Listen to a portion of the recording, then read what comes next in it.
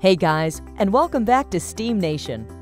Steam power plays an important role in society. Water heated to a gaseous state creates an invisible energy with countless possibilities used around the world. Today we're taking a closer look at one of the many types of industrial boilers behind this process, the fire tube boiler. Fire tube boilers are one of the most commonly used type of boiler in modern day plant operations with a wide variety of sizes from 15 up to 2,000 plus horsepower, a relatively small footprint with regards to its capabilities. The fire tube boiler is an excellent choice for processes where lower capacities and pressures, less than 250 psi, are required.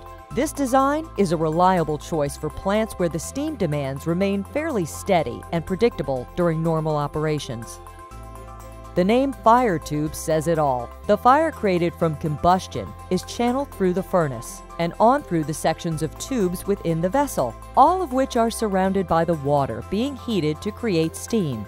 At each end of the boiler, the flue gas takes a turn and creates what is known as a pass. This pass of a fire tube boiler is an often referenced design characteristic that simply put refers to the number of times the hot gas from the burner passes through and creates the opportunity for heat transfer.